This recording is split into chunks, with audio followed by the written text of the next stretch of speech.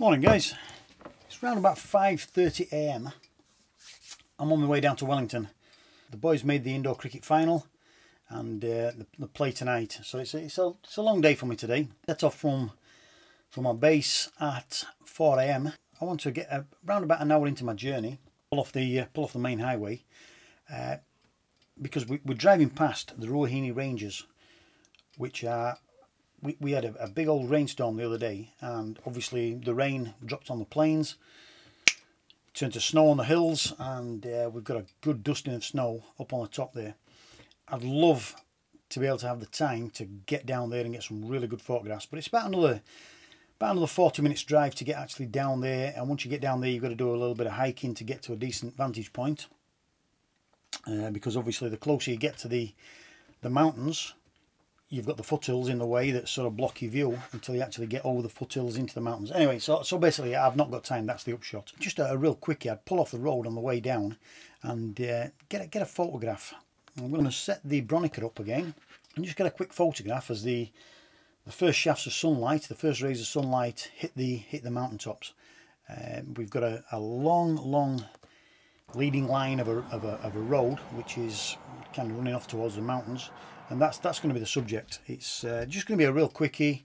I'm going to be in no more than 20 minutes after after sunrise and then I'm back on the road and heading down to Wellington.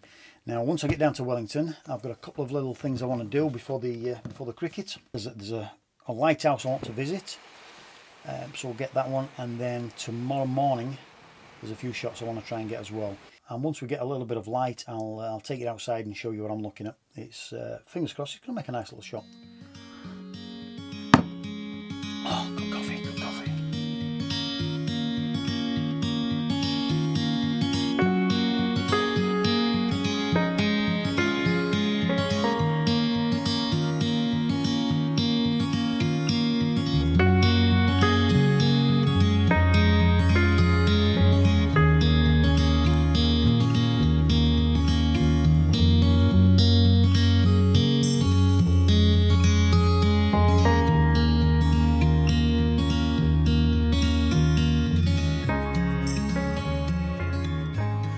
Right, so having a little walk around, I've come to the decision that these little puddles are going to make a nice little foreground for the shot, leading out from this little dirt road onto the onto the highway there, and with power with a couple of power poles and the road leading off into the distance.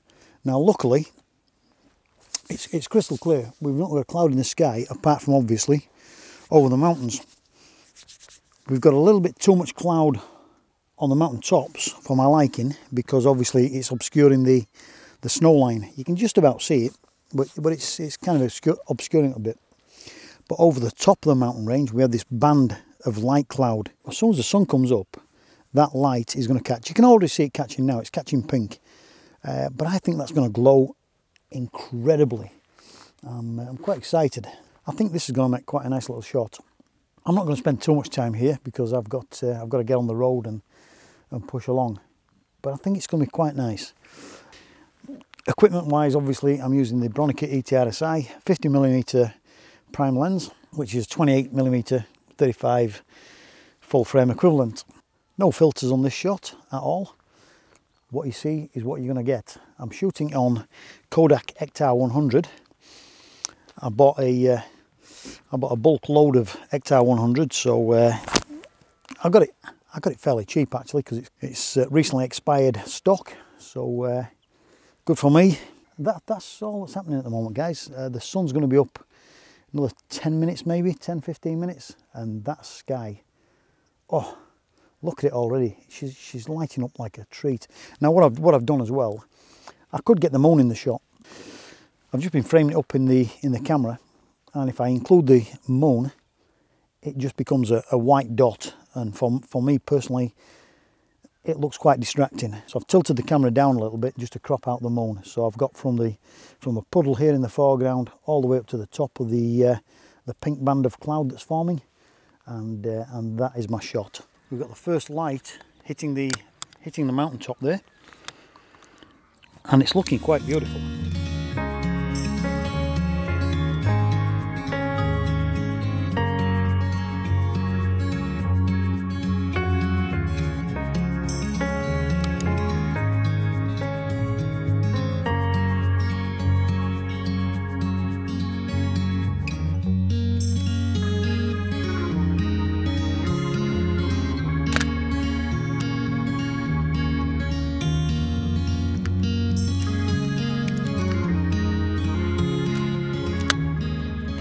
So I've had a walk up and down the road trying to improve the shot a little bit.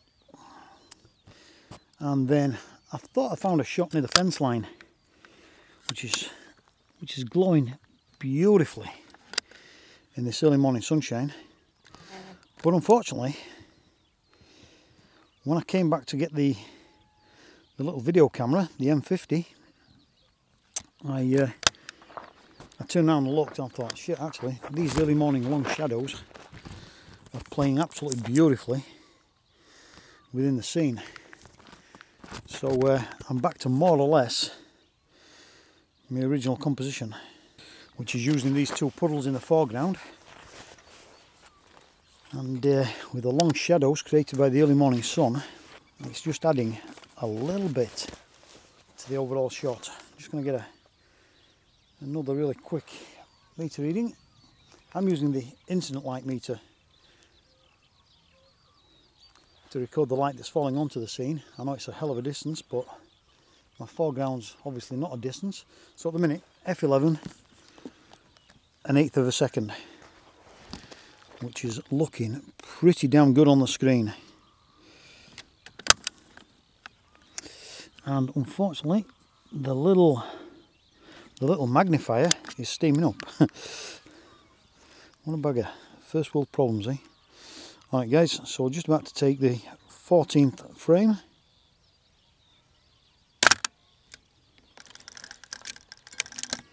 And I've got one frame left. What do I do with this one frame? What do I do? Don't know. To be honest with you, I don't know if I'm going to improve on that. I really like that shot. I've decided not to waste that film.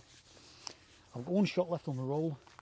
It's one shot, digital, I'd have been blasting away, running around getting different compositions.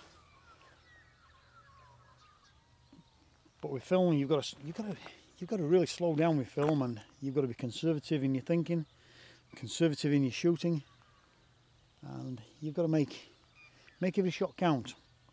It's a bit of a cliche, but so I'm going to pack this up now, get in the van, push on the road. We've got about another two and a half hours to get through and uh, we should be in Wellington. I'm Looking forward to seeing these shots come back.